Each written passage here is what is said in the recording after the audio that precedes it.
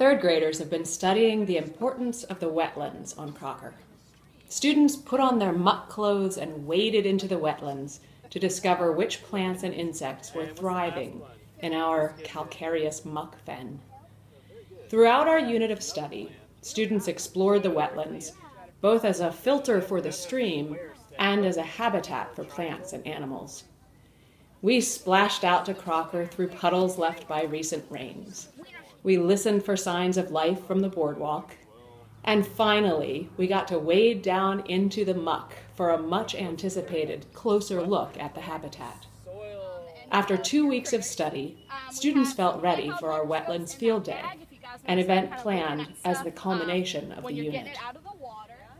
Brent Barriteau from NRCS returned as our soil expert, joined by three of his colleagues, Nick, Ally, and Kaitlyn.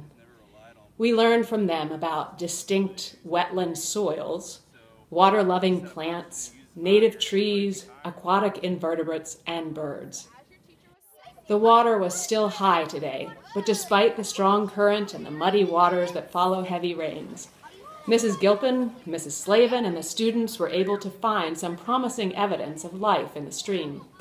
Their favorite catches of the day were water pennies and crane fly and caddisfly larvae.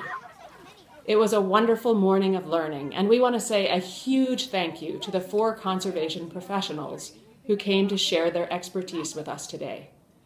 Their enthusiasm for the mud, the critters, and the plants was obvious as they shared their wealth of knowledge.